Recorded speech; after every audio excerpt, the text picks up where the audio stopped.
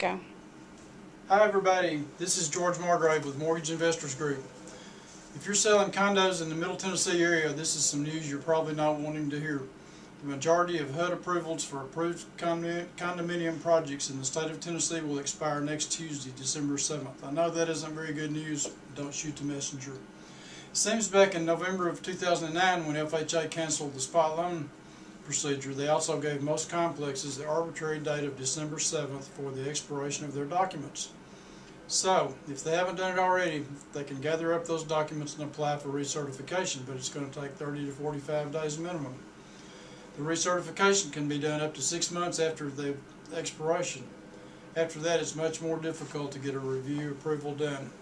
In the meantime, we can still order a case number if you've got a deal working over the weekend, if we order it by Monday. If you know many of the complex, as you know, many of the complexes in Middle Tennessee probably depend on FHA for most financing.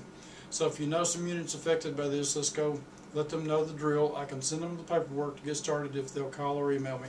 Thanks. Have a great weekend. Let's sell some condos.